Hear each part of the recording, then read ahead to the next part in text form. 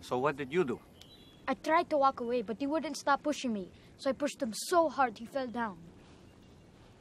And that's why you were punished. Did you expect something different? But even Torah says eye for eye. Why should I be punished too? Yes, but that is for a judge. You are hardly in a court of law. And you, all of you, are to be special. You are to act differently than others. You tell us to be gentle, but Rabbi Josiah said Messiah would lead us against the Romans, that he would be a great military leader. It is important to respect your teachers and honor your parents. And Rabbi Josiah is a smart man. But many times, smart men lack wisdom. Is there anything in Scripture that says Messiah will be a great military leader? There are many things about Scripture that you cannot understand yet, and that is okay, that is fine. You have many years ahead of you. And God does not reveal all things at once. But children, what if many of the things that our people think about how we are to behave and how we are to treat one another are wrong? You want things to be fair. When someone wrongs you, you want to right it. And you know who else loves justice? But what does the Lord say in the law of Moses about justice and vengeance? Vengeance is mine. Yes, very good. Very good. Boys, pay attention. She doesn't even go to Torah class, huh? the Lord loves justice. But maybe it is not ours to handle.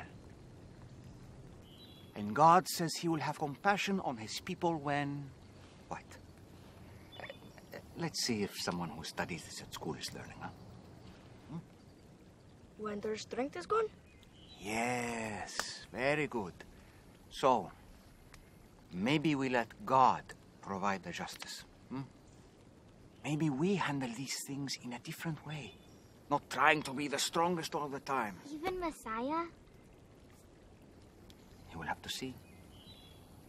But do not expect Messiah to arrive in Jerusalem on a tall horse carrying weapons.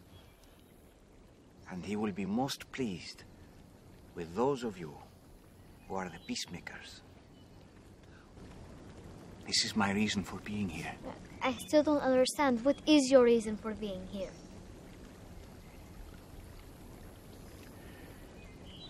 I'm telling you this because even though you are children and the elders in your life have lived longer, many times adults need the faith of children. And if you hold on to this faith really tightly, someday soon, you will understand all of what I'm saying to you. But you ask an important question, Abigail. What is my reason for being here? And the answer is for all of you.